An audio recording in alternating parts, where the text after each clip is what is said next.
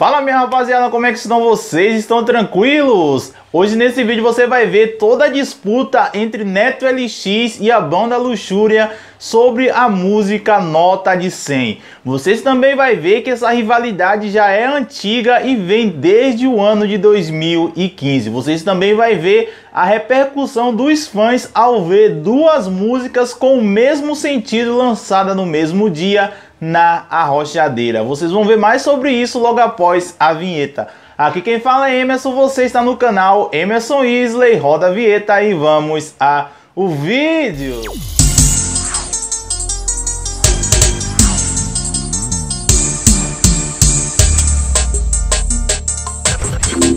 Pois é, rapaziada, antes mesmo de assunto, eu gostaria de falar para você que está chegando agora no canal, primeiramente, seja bem-vindo. Eu gostaria de falar para você que gosta do Arrocha e gosta da Arrochadeira gostaria de ficar por dentro de tudo que acontece nesses dois gêneros, é só se inscrever no nosso canal e ativar o sininho de notificações e deixar o seu like. E se você gostaria de obter um conteúdo extra e saber antes mesmo de a notícia ser postado aqui no YouTube, é só me seguir lá no meu Instagram, esse está aparecendo aqui, arrocha arroba Emerson Isla. Quem me segue lá no meu Instagram já sabe que eu postei essa notícia lá com antecedência. Mas enfim, fique nesse vídeo até o final que você vai saber todo o desfecho e vai saber também que essa rivalidade não vem de hoje. Embora nem Neto LX e nem Coyote veio a público falar que há uma rivalidade entre eles, acredito eu que ele nunca vai vir, até por uma questão de maturidade, os fãs especulam que sim, existe essa rivalidade entre os cantores desde a épocas em que eles ali trocavam de banda. Se você não sabe dessa trajetória, eu vou falar para você. E se você já sabe, é bom você assistir porque informações nunca é demais. Em 2012, Neto LX fazia parte da banda Hit do Povo. Logo depois, ele saiu e Coyote entrou no seu lugar. Até eles dois gravaram uma música junto. Posteriormente, Neto LX passou a ser vocalista da banda Luxúria. Em 2014, 12 ele saiu e Coyote foi lá e entrou no lugar dele. E aí as pessoas ali já começaram a ter um pé atrás, achando que sim, já existia essa rivalidade. E como eu falei, Neto LX saiu da banda Luxúria e começou a seguir carreira solo. Não demorou muito e Coyote também foi lá e começou a seguir carreira solo. Posteriormente, Neto LX foi lá e entrou na banda Luxúria novamente, mas não demorou muito e ele saiu. E logo depois com a sua saída, Coyote volta para a banda Luxúria. E aí os fãs começaram a desconfiar que sim, existia essa rivalidade, mas não aquela rivalidade de os dois ser rivais, mas sim aquela rivalidade dentro da rochadeira, cada um defendendo seu espaço e querendo ser cada dia mais melhor que o outro. Ou seja, um dos dois querendo ser o rei dos paredões, o rei da luxúria. Mas será quem é o verdadeiro rei da luxúria? Comente logo aqui embaixo para nós nós prosseguir ao assunto. Até que essa semana a rivalidade dos dois voltaram à tona de novo. Por que, Emerson, você está falando isso? Como vocês sabem, Neto LX e Coyote ficou conhecido nacionalmente cantando suas músicas de ostentação. E em 2013, quando Neto LX fazia parte da banda Luxúria, uma das músicas que tocou bastante no Nordeste e destacou Neto LX foi a música Vida Mais ou Menos. E um trecho da música falava assim: Eu suporto notar de 100 porque não tem de 200. E posteriormente, como eu falei, Neto LX saiu da banda Luxúria e Coyote entrou. E essa música também ganhou grande proporção na voz de Coyote em todo o cenário nacional. Ou seja, os dois se beneficiaram bastante dessa música. Mas para você entender esse caso, temos que sair da música e ir para o Banco Central. alguns dias atrás, o Banco Central anunciou que vai lançar a nota de 200. Eu acho que é o mês de setembro que o Banco Central vai lançar a nota de 200. Até aí, tudo bem. Só que de imediato os fãs começaram a pedir aos dois cantores para lançar uma música com esse tema, já que os dois falavam: "Eu só porto nota de 100 porque não tem de 200". Imediato, né, LX anunciou em suas redes sociais que na sexta-feira ele iria lançar essa música. E até aí tudo bem também, só que os Moras não anunciaram nada, não falaram nada que ia lançar música,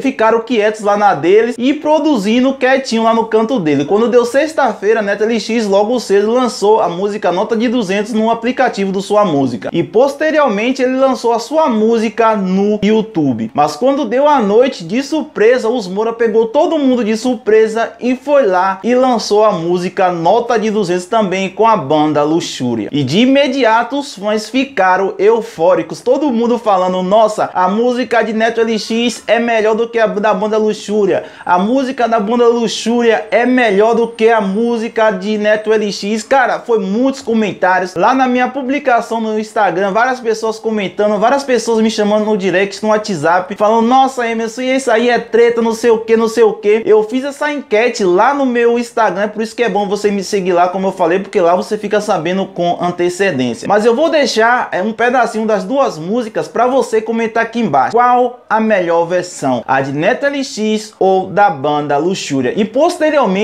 eu vou mostrar para vocês uma resposta que Neto LX deu a Coyote no ano de 2015 para 2016. Mas primeiramente vamos ver logo a música. Alô, alô,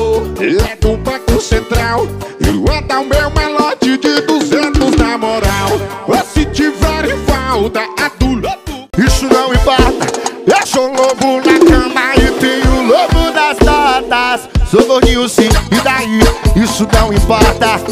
Pois é, rapaziada, foi essa música aí da rivalidade que os dois lançaram no mesmo dia. E como eu falei, os fãs ficaram eufóricos falando que um era melhor do que outra, outra era melhor que a outra. Mas eu, Emerson Isley, não tenho nada contra ninguém, eu gosto muito dos dois. Eu acho assim, é muito ruim para os fãs ter que escolher entre Neto LX e Coyote, porque com certeza são dois baitas de dois cantores que na rochadeira, na atualidade, cara, assim, há assim uma grande disputa, aquela disputa assim, não aquela disputa de rivalidade, mas aquela disputa entre os dois, porque os dois cantam demais. Mas enfim, deixe aqui o seu comentário. Qual a melhor versão para você? A da banda Luxúria ou de Neto LX? E aí, cara, qual a melhor mesmo, hein? Comente aqui embaixo. Agora eu vou mostrar para vocês que essa rivalidade já vem de alguns tempos atrás. Em 2015, quando o Coyote estava na banda Luxúria, ele lançou a música Patrocinador. Você se lembra dessa música? Eu vou te mostrar aqui. Olha, chegou o seu patrocinador. Já em 2016, Neto LX, no auge do sucesso, ele foi lá e lançou a música Dono do Banco. Já em 2015, como falei que Coyote lançou a música O Patrocinador, é, no início da música Dono do Banco, eu acho que vocês nem prestaram atenção nisso, as pessoas ouvem a música e não prestam atenção. Eu mesmo, Emerson Isley, quando eu ouço uma música, eu gosto de prestar atenção bastante na letra. No início da música Dono do Banco, Neto LX falou assim, patrocinar, neguinha, patrocinar, eu vou é te bancar. Veja um pouco. Patrocinar, neguinha. Eu vou te bancar, porque eu sou dono do banco, filha. Ou seja, patrocinar, patrocinar, eu vou é te bancar. Ou seja, uma resposta para Coyote que ele lançou a música Patrocinador. Já no final da mesma música, dono do banco, Neto LX foi lá e falou bem assim: patrocinar é coisa de liso. Veja esse bordão também. Patrocínio é coisa de liso. E aí, responda aqui embaixo, você também tinha observado isso? Eu acredito que não, em poucas pessoas de certeza tinha observado que esses dois aí de alguns tempos aí vem trocando aí essa rivalidade nas músicas. Mas enfim, deixa aqui no comentário o que é que você acha disso. Eu acho que esse vídeo merecia muito like porque você hoje se manteve mais informado do que nos outros dias. Bom, gente, o vídeo vai ficando por aqui. E eu espero você no próximo vídeo. Ah, assista esse vídeo que tá aparecendo aqui porque ele é muito top também.